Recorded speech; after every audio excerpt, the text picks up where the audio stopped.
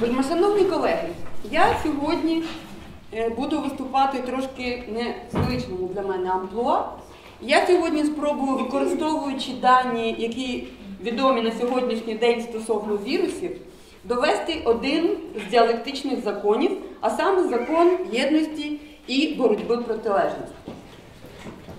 Е, Я буду використовувати нові факти, про які Валерій Петрович вже також говорив, однак Валерій Петрович завжди говорить про все. І так, розпочати я хочу з висловлювань видатних філософів з приводу цього закону. У природі скрізь ми бачимо суперечку, боротьбу і поперемінну перешкоду, говорив Шопенгауер. Геракліт, е, коли пояснював цей закон, він наводив, коли візуалізував цей закон, він наводив, на мою думку, дуже гарний приклад. Коли ми натягуємо тетиву на луці, то лук згинається, і два е, кінця луку намагаються розігнутися, і між луком і тетивою виникає така, таке напруження, яке і є сутністю яке є вищим. І саме ось цю вищу єдність, яку описує Геракліт, я і хочу довести сьогодні на прикладі досить незвичної системи, як для філософії, це людини і її вірусів. Ми всі з вами дуже добре знаємо, що навкруги нас е, існує величезна кількість е, різноманітних вірусів. Е, існують різноманітні аспекти, які пояснюють взаємодію між людиною і вірусів. Вони взаємодіють на дуже різних рівнях. Сьогодні я торкнуся тільки двох аспектів. Спочатку ми будемо розглядати вірус як патоген, і закінчимо ми розгляданням вірусу як симбіонту людини. Зрозуміло, про це вже багато сьогодні говорили, що в більшості людей віруси асоціюються з хворобами, смертями, з патологіями. Е, насправді ну, це не зовсім так. Однак про це завжди ми з вами найбільше згадуємо. Починаючи від перших історичних згадок, які датуються 3,5 тисячі років е, тому. Однак насправді віруси з'явилися набагато раніше. І закінчують тими вірусами, які циркулюють кожен день, і навіть в цій аудиторії вірусів знаходиться і дуже і дуже багато. Коли ми говоримо про взаємодію вірусу і людини, з чого вона починається? Першим етапом це є адсорбція вірусу на поверхні чутливої клітини. Як правило, це специфічна адсорбція тільки на на специфічних рецепторах. Потім віруси проникають всередину клітини, починають реалізувати свою генетичну інформацію, виходити з клітини, уражувати сусідні, і, врешті-решт, організм людини починає відповідати.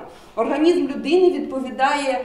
Каскадом імунологічних реакцій, які направлені на збереження цілісності. Я хочу наголосити на тому, що коли я вживаю термін вірус, своїй доповіді, я не уявляю собі один віріон. Я маю на увазі популяцію вірусів, яка постійно змінюється. Яким чином реагує організм людини на присутність вірусу? Вроджений імунітет, адаптивний імунітет, запрограмована загибель клітин, РНК-інтерференція тощо. Тобто, ось цей каскад реакцій направлений на те, щоб знищити ворога, знищити вірус, який прийшов. Необхідно сказати, що віруси не такі вже й прості, тому що у відповідь на захисні механізми, які вироблені в організмі людини, вірус має свої власні механізми для того, щоб обходити імунний захист клітини. В чому вони проявляються? Наприклад, у великих вибачте, у великих ДНК вмісних вірусів. Таких як покс-вірусів, герпес-вірусів, існують е, білки, які можуть протидіяти механізмам апоптозу, тобто вони можуть виключати запрограмовану загибель клітин. Невеличкі е, РНК-вмісні віруси е, часто можуть кодувати маленькі молекули РНК, які виключають е, механізми РНК-інтерференції, які виробляються в організмі людини. Однак основне у вірусів це їхня мінливість. Віруси, на відміну від інших живих організмів, набагато більш мінливіші за рахунок свого.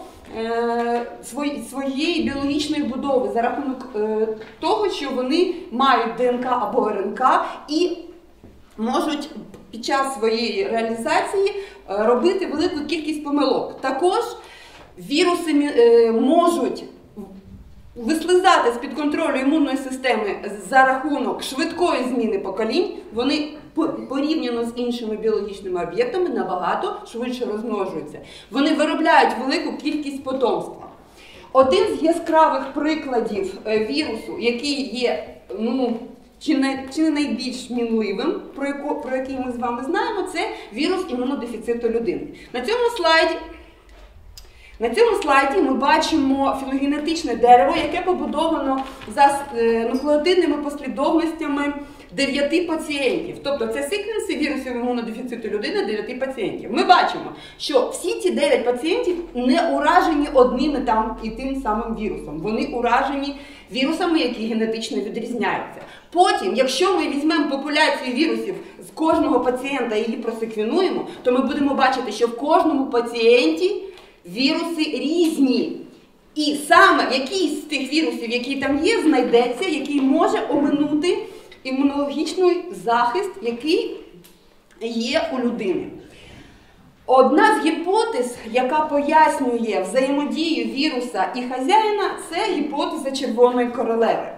Вона була висловлена Ван Валеном в 1973 році. Ми бачимо, що вірус розвивається дуже і дуже близько до свого господаря. Вірус коеволюціонує е, на тому ж самому е, рівні, як і господар. Зменшується кількість хазяїна, вибачте, хазяїна, зменшується кількість паразита. Е, Чому ця гіпотеза названа Червона королева? Тому що, за словами Червоної королеви з е, Льюіса Керрела Аліса Зазеркальні, цей дослідник вважає, що вірусам, е, вірусам і організмам багатоклітинним потрібно змінюватися для того, щоб не вимерти. Тобто Аліса е, Червона королева говорила про те, що для того, щоб лишатися на одному і тому самому місці, ми постійно повинні рухатися, ми постійно повинні бігти. Отже, коли ми говоримо про вірус з позиції патогена, ми знаємо, що виробляється система захисту патогенів у людини.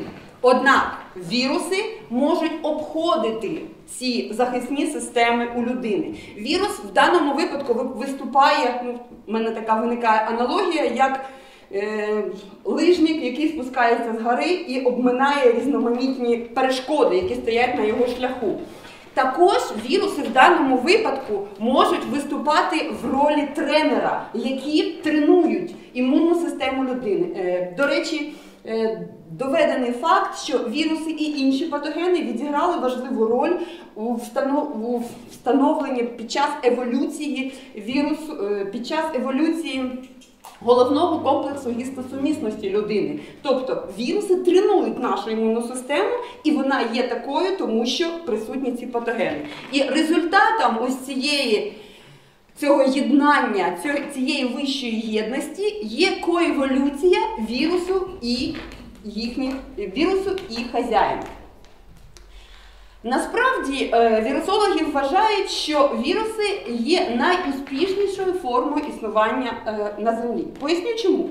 Віруси обирають такий шлях розвитку, коли вони наближені до стабільності під час взаємодії з хазяїном. Якщо вірус дуже і дуже е, інфекційний, він вб'є свого господаря, хазяїна, вибачте, б'є свого хазяїна і не встигне передатися е, новому. Якщо вірус дуже слабкий, то імунна система хазяїна знищить його. Тобто вірусу вигідніше всього стабільний стан, і саме тому ми говоримо про те, що для віруса найкраще це симбіоз або принаймні мутуалізм.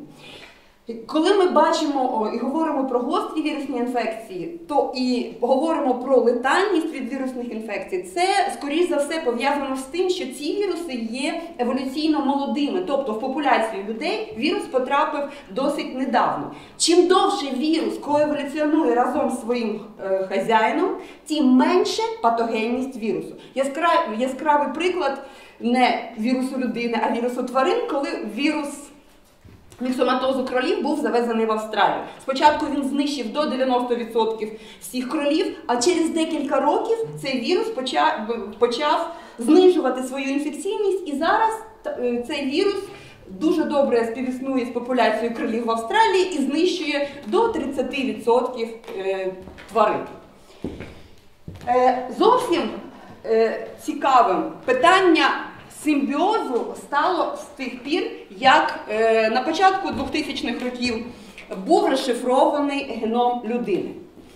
Ми з вами звикли вважати свій геном це своєю індивідуальністю, яка потрапила нам від батьків. Однак, тим не менш, в людському геномі, який складається з приблизно 3 мільярдів нуклеотидів, всього-навсього 1,5% займають ті послідовності, в яких закодовані білки, які необхідні організму людини для його нормального функціонування. Ми бачимо, що 8,3% це ЛТР ретротранспозони, 2,9% це ДНК-транспозони. Тобто це послідовності вірусних геномів, які вбудовані в геном людини. Також ми бачимо сайн і лайн. Це неповноцінні послідовності, це мобільні генетичні елементи, елементи, однак вони дуже і дуже нагадують вірусні послідовності. Дивлячись на цей слайд, виникає декілька питань. По-перше, Звідки взялися там ці віруси в геномі людини? По-друге, чи можуть ці віруси викликати у людини якісь захворювання? Ну і по-третє, яку роль вони відіграють там? Насправді, коли е, був розшифрований геном людини, то вважалося, що, скоріш за все, це ну, російською мусорна ДНК, яка знаходиться в геномі людини. Зараз ми з вами знаємо, що це не так. І е, я це про це я буду говорити. І так, яким чином вірус, віруси потрапили в геном людини? Е, ми говоримо, що процес ендогенізації це процес, при якому вірусні гени інтегруються в геном хазяїна і стають його частиною. Це відбувається під час чи не най не самого інтимного процесу, коли відбувається злиття двох полових клітин, а в одну полову клітину випадково потрапила послідовність вірусу утворився новий організм, і потім вже ця послідовність почала успадковуватися. Ось один ген, другий ген, якимось чином в одну клітину потрапив ендогенний ретровірус або його ділянка, і в подальшому ці компоненти почали е, е, передаватися спадково. На наше щастя, ендогенні віруси, які вбудовані в геном людини, вони не є повноцінними. Як правило, вони змінені в, в, різних ділянках, тобто в них відбулися мутації, і вони не можуть викликати захворювань. Однак на сьогоднішній день вже встановлено, що ендогенні ретровіруси виконують абсолютно нормальні клітинні функції. Тобто клітина використовує геном вірусу, експресує якісь його гени, в залежності від того, е, для чого різні гени, для того, щоб Наприклад, експресувався ген амілази слини.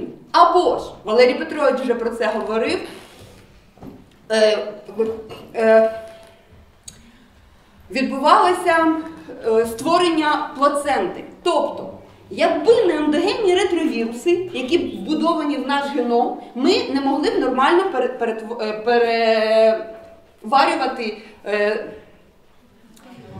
їжу або ж не могли так народжувати дітей, як ми їх народжуємо зараз. Тобто, якщо говорити про вплив продуктів ендогенних вірусних елементів, це клітинна експресія вірусних генів і привласнювання вірусних генів господарям. От ще один яскравий приклад це сенситин, про який говорив Валерій Петрович. На сьогодні вже відомо декілька. так, Відомо декілька видів синцитину і відома абсолютна їхня функція в формуванні плаценти. Однак це ще не все. Е, Буквально на початку е, січня місяця 2015 року шведські дослідники надрукували статтю в досить таки ну, в гарному виданні з високим рейтингом цитування Cell Press. Ця стаття говорить про те, що Ендогенні ретровіруси відіграють роль в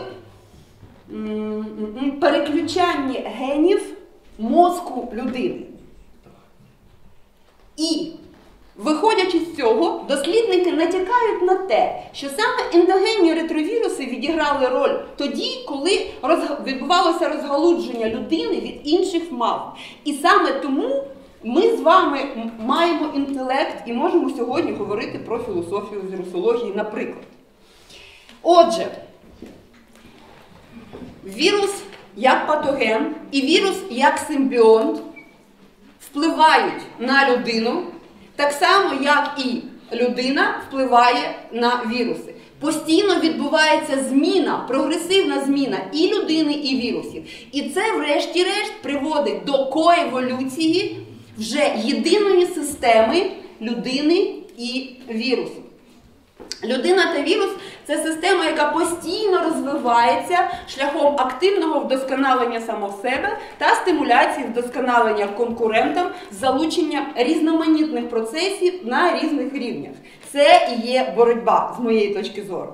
Здатність до мінливості вірусів, пристосування, захвату функцій людини і вірусом один одного, підтримання сталих взаємовідносин створює умови для еволюції системи вірус-людина як єдиного цілого. Ось і єдність.